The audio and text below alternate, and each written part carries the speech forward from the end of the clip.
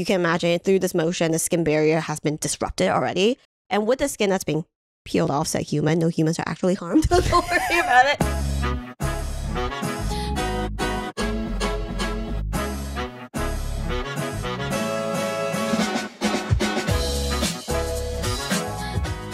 All right, welcome back everyone to the Chemist Confessions podcast. I'm Gloria. I'm Victoria. This is a human conversations on all the skincare science we talk about on the daily. We are cosmetic chemists, and this year we are kind of reformulating this, get it, our podcast format to address some of your burning skincare question, one key ingredient at a time. And this week is all about ceramides. Yeah, it's uh I think it's a pretty hot ingredient right now. Um last year there was a big push for I think a lot of people wanted to learn more about how to take care of their skin barrier Yep. and ceramides was definitely that first ingredient that came to everybody's mind. So, we're going to definitely do a review of what exactly ceramide is, um what it actually does for skin and uh, how to use it in your skincare. Yep, so let's dive right into it. What are ceramides, Victoria? All right, so ceramides are predominantly lipid components that are found in the stratum corneum. Mhm. Uh, they actually comprise about 30 to 40% of our SC lipids um, by weight, so that's pretty hefty. They play a pretty crucial role in the water retention capacity of our skin. Yeah, so there are a lot of different types of ceramides in your skin, and Mhm. you might have heard of the term lipid matrix. Mhm. And ceramides are definitely a key part of what makes a matrix so matrixy, because these different types have different sizes and different roles in them. Some of the bigger ones act as like the bricks and the mortars, and it creates this layer in skin that's very robust and protects your um protect your skin against water loss and invasion of bad stuff. Um, and I should share as I was doing the ceramide research, I just want to mention how bad Google search is right now. I'm sure many of you have noticed that Google AI has been really just uh, pummeling, I think, Google search with all the questions that you might have. So if you search the term, it'll list like 10 of these questions that you might have. Um, so I found a funny discovery that I want to share just to show how bad Google is at skincare. Uh huh. Um, so one of the questions uh, that Google AI suggests is, "What is better than ceramides?" So I was curious and I clicked on it, and the highlighted text reads, "Both ceramides and squalane are lipids that occur naturally and are found in the skin. Their functions and benefits differ." But squalane is much better than ceramides due to its stability and long shelf life. Was like, um, um, wow, that is so. I have a lot of questions. First of all, what's naturally producing your skin is squalene, not squalane. Yeah. Squalane is very stable, but Squalene is not. yeah, yeah, and ceramides and squalane are two very different concepts. Period. You should not be talking about them in the same sentence. So. Google stop talking about skincare. And guys, just so you know, when you are googling, know that there these questions are going to be like the top three things you might find in your search, and they're very wrong. yeah, and also ceramides are pretty stable creatures. They're Yes. waxy and hard to deal with because they're so stable and robust. so there you go, Google. So beware. Not only are fear mongering folks out to get you, so is Bard. All right. So going back to what is ceramides, um, do know that there are currently 12 types of ceramides out there um, in the human stratum corneum.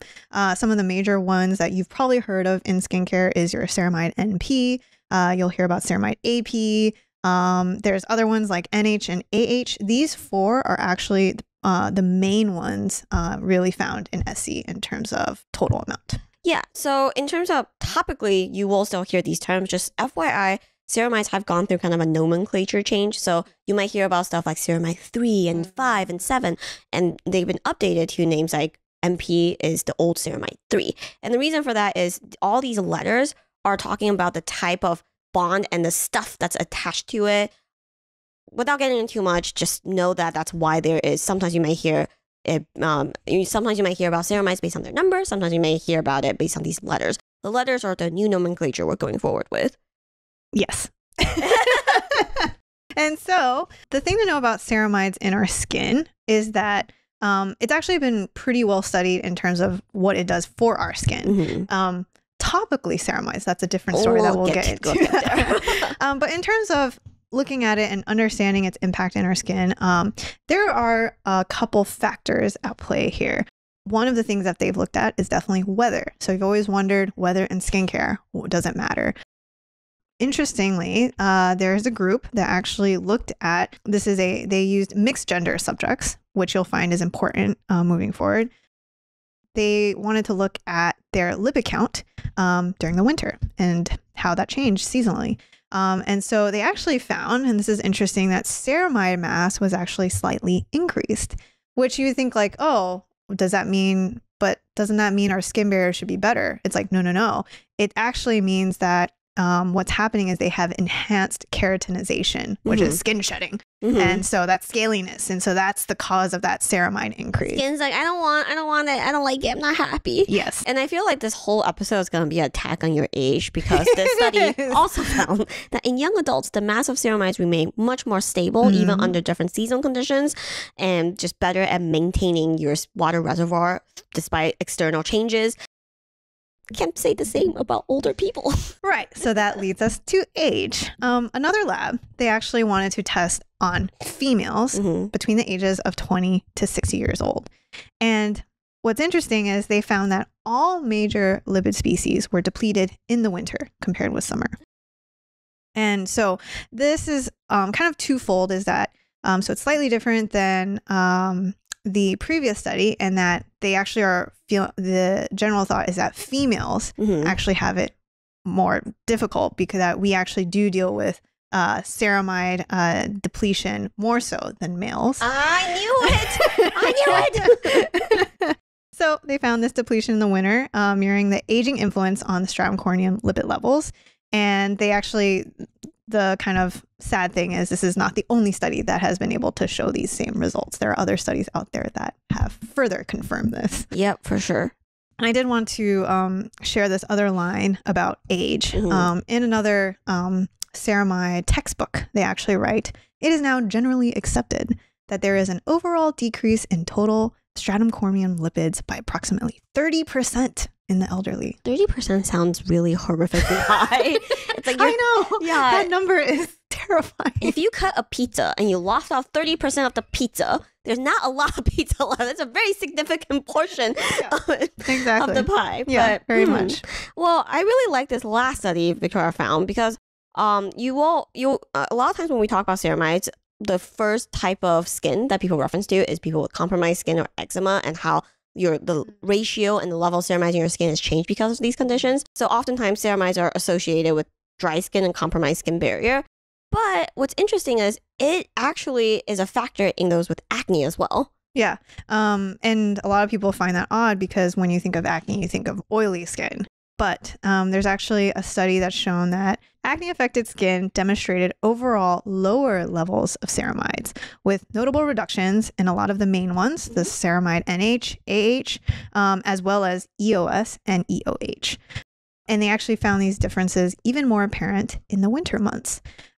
And they have also further explained that lower ceramide levels reflected an increase in TEWL and acne compared with healthy skin, which only partly resolves in the summer. Ooh. So I think that's very I- don't know. I feel like that's a um I'm really glad that we can talk about this here because I think with acne a lot of people are very afraid to put on moisturizer. yes. Um but they don't realize that you really need moisturizer. Yeah, yeah, Yeah. I think we talked about in our um, acne episode last year about how inflammation and these actives that tend to be pretty harsh for acne lead to a lot of dry skin, but acne individuals are still like in fear of moisturizers for good reason. But Yeah. at the end of the day, it's once you figure that out, it can actually help your journey quite a bit. Totally. Um, so that hopefully gives you a good picture of what ceramides do for skin and how their levels can impact skin as we age and go through life changes. But we're going to take a quick break. Are you in need of a ceramide fix? Check out our cold favorite slugging companion, Balm Voyage. This represents our chemist's blood, sweat, and tears, and a lot of dollar dollar bills that just went into this one. Well, ultimately, we want to create the salve with a whole 1% of ceramides.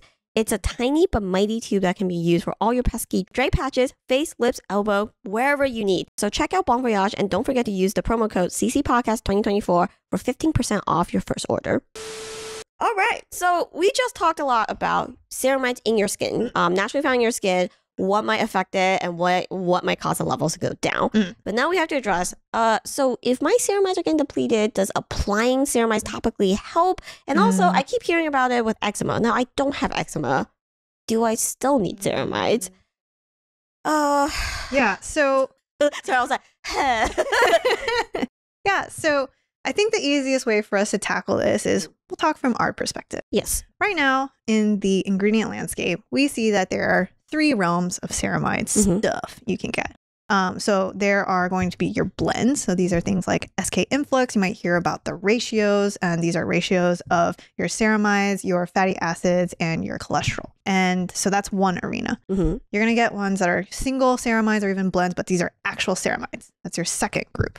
And then finally, you have your pseudoceramides. Yeah, so we're not going to cover too much about pseudoceramides in this Yeah. episode.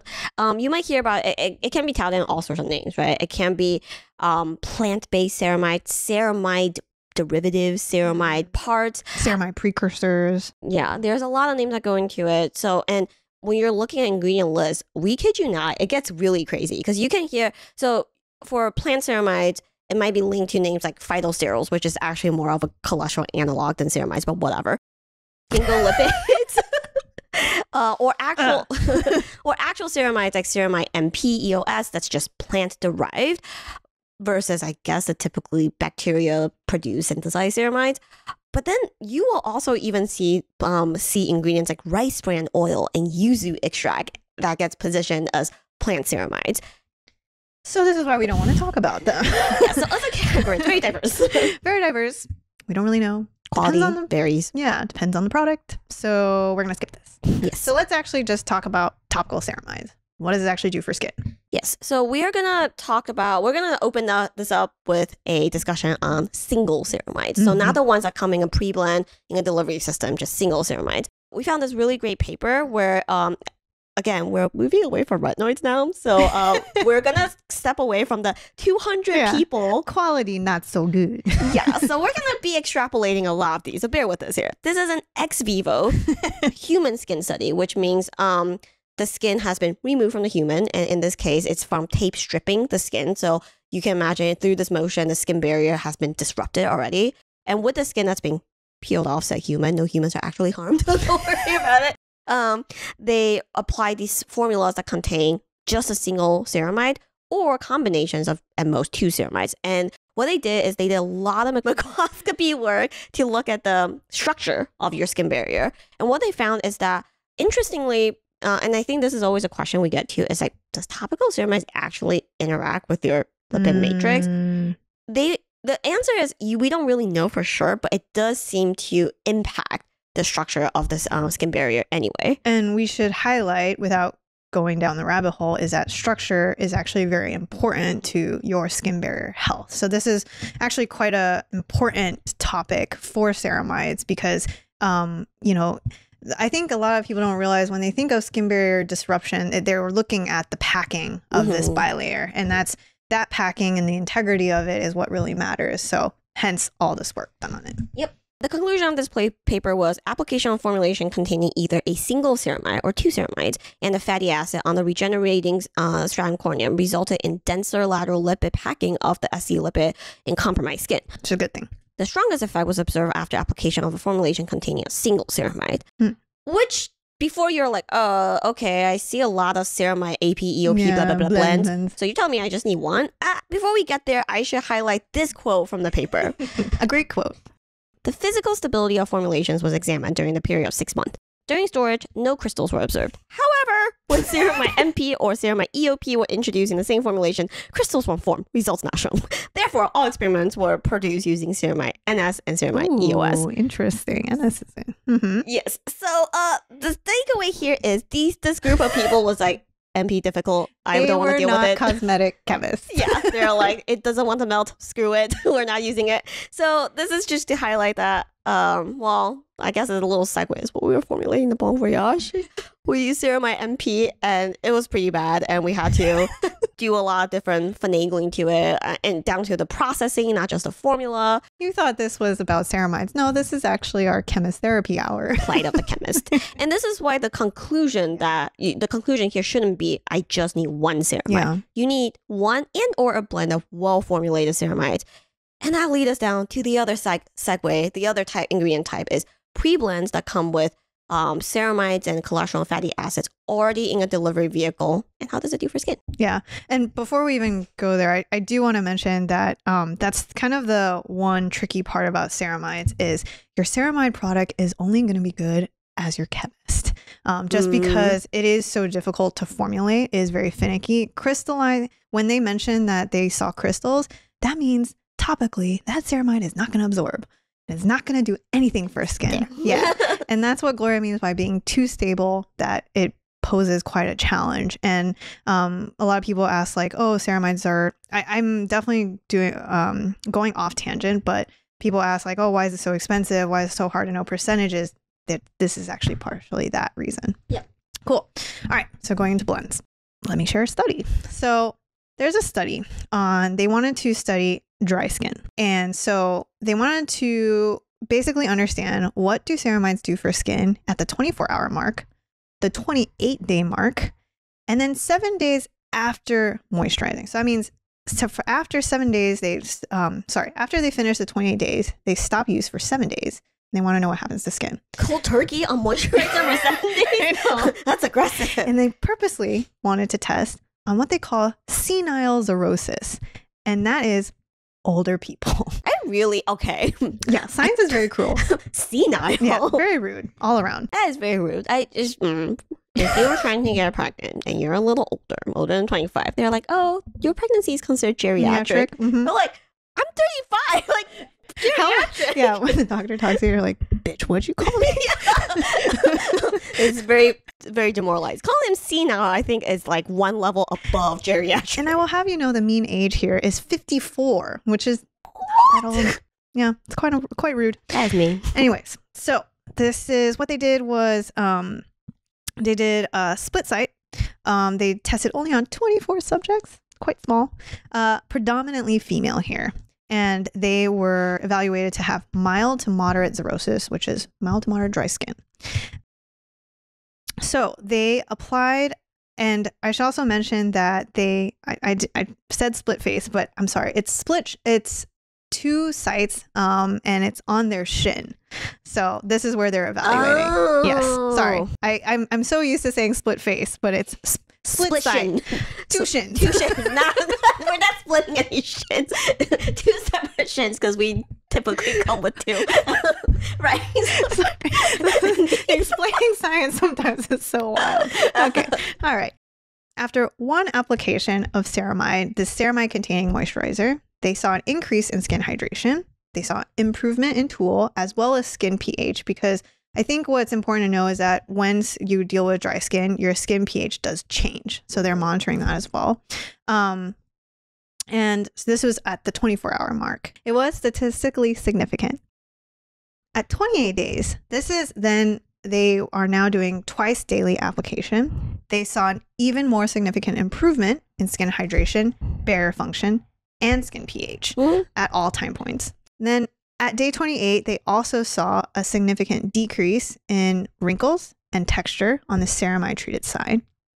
And then seven days after this whole moisturizer study, where they stopped use, they still saw that the ceramide treated side had superior was superior for skin hydration TEWL, skin pH, and wrinkles. And so that's why um, hopefully this gives you an idea that ceramides actually can be very helpful for dry skin. I yeah, I actually think it's um these studies again out of the retinal realm are a lot smaller, but still pretty cool to see such a market difference. Mhm. Especially, I think what's rare in um a lot of study is a benchmark, like a placebo benchmark. Mhm. Sometimes though, um having this comparison shows that ceramide definitely does help, and we'll put the charts up on screen. You'll see that across all um parameters, the blue ceramide group does uh, does better. I will say the one the one set of data that I'm kind of like, okay, is the skin pH one? Yeah. because that one is a little It's like, funky. Yeah. yeah, it's by a tenth of a difference sometimes. So that's kind of hard to say for sure. for sure. And then at the end of the study, it kind of like comes much closer together. Mhm. So anyway, but skin hydration TEWL, even though they line up pretty closely, it's pretty cool that consistently across all time points you see that difference. Totally. So hopefully that gives you an idea. And we should mention that the ceramide they use is a blend Mhm. of three ceramides. Um, and that should give you an idea of how, um, I guess, how helpful a ceramide can be, especially if you are one that's prone to dry skin.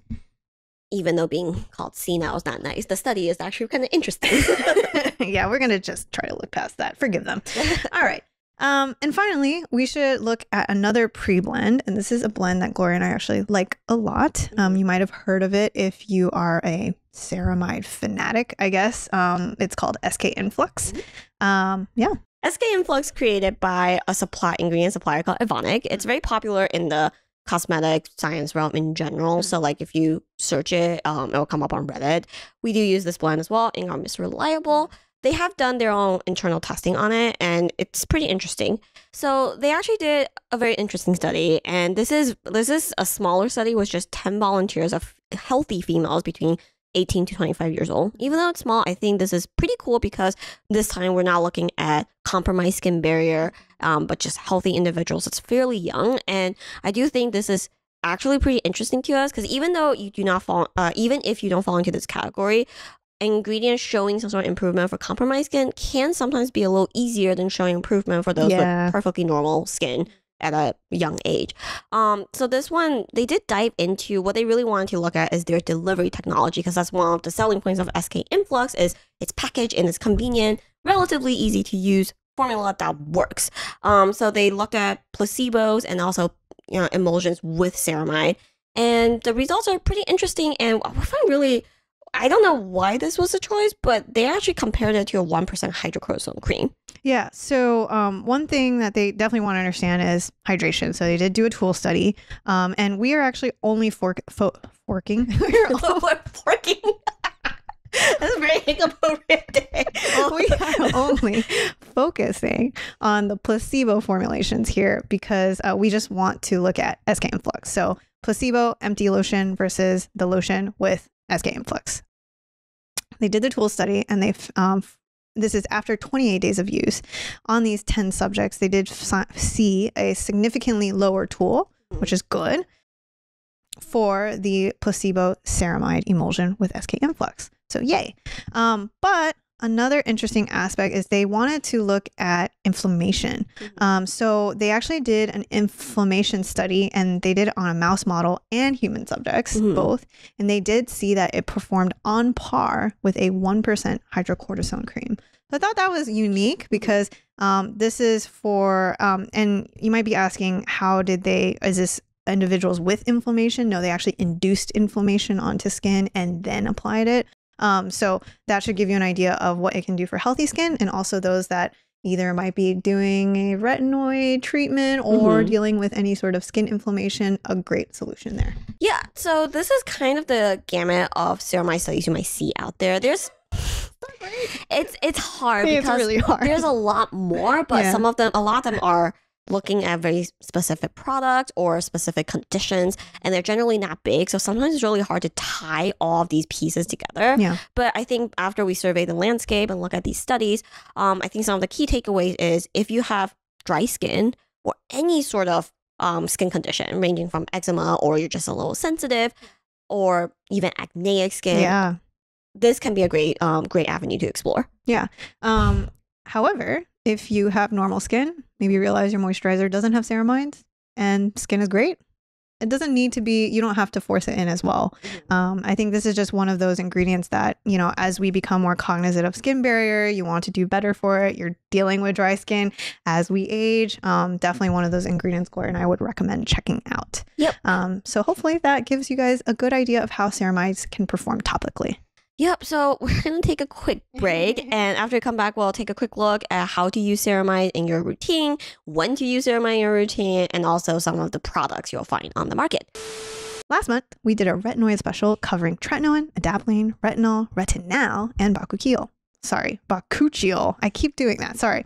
If you feel like you missed out and don't have time to listen to the podcast, head to our blog. You'll find in depth guides to these topics and a lot more, so check it out.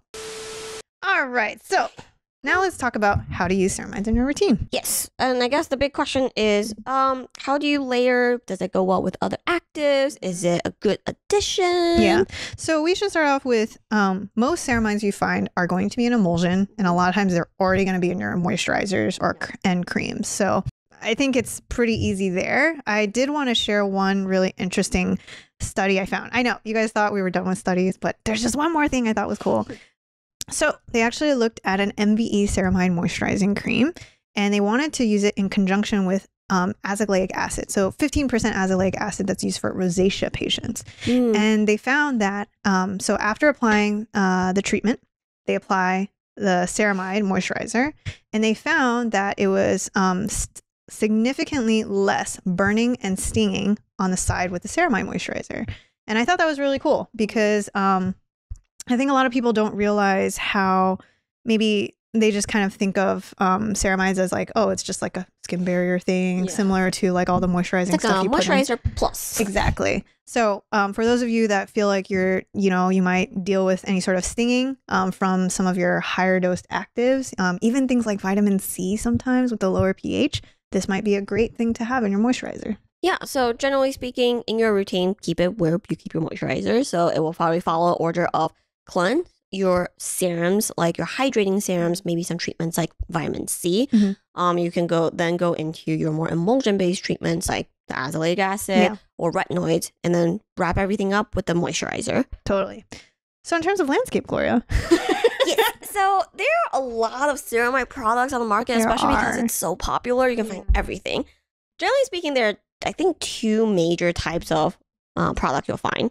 You'll find it in slightly lighter creams that comes with some of these pre-blends, like the Evonik SK Influx or other delivery vehicles like our Mr. Reliable and CeraVe falls into this category. They tend to have a texture that's a little bit more pleasing for a wider range of people. Even if you have oily skin, you may find that um, these creams are not that heavy. Um, because they're in these de- delivery vehicles, their neat ceramide level isn't as high, but it will still deliver those ceramide benefits. So this is perfect for those with normal to dry skin and for people who are just looking into, you know, entering the ceramide ceramide realm to help with their active game and Yeah. whatnot. And then you have your dollar bill ones.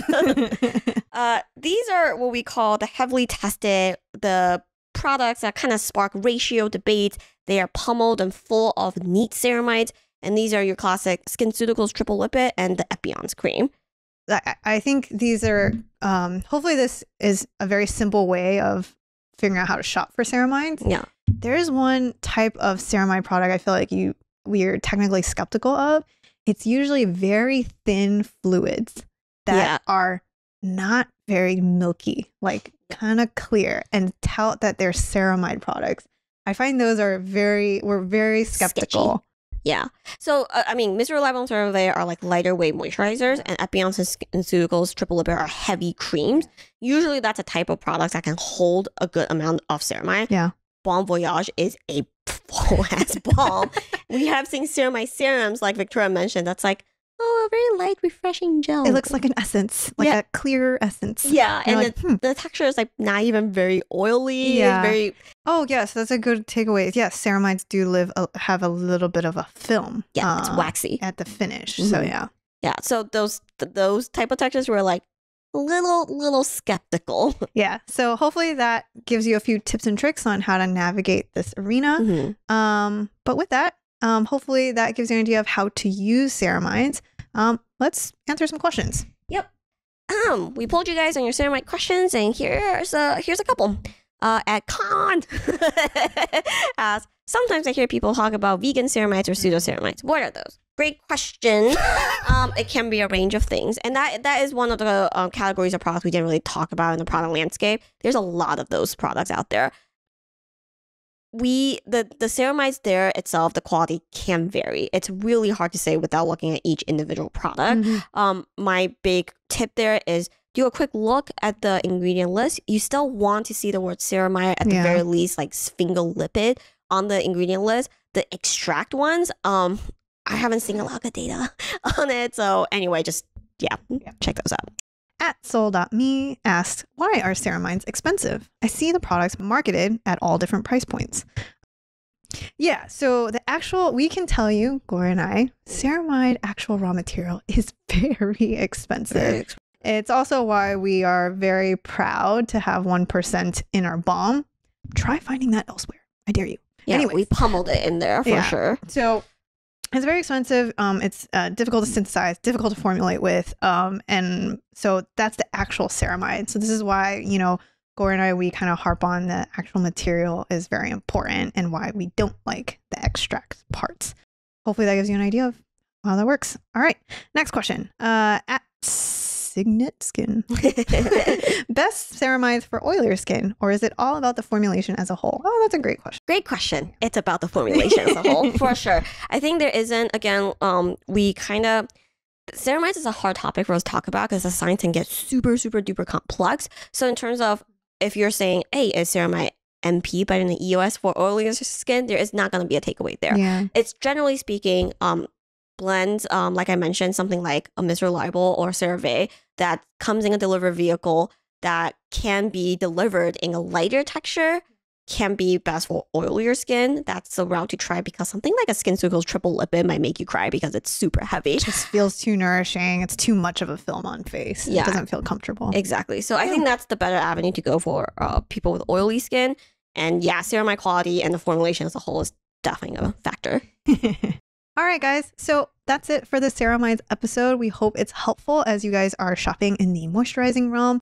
Um, but otherwise, Gloria, if they have a question, where can they find us? You can find us on our website at chemistconfessions.com. Check out the blog there. You can DM us on Instagram at chemist.confessions. We do poll you guys regularly on questions so we can address them here on the podcast. You can also email us at info at chemistconfessions.com.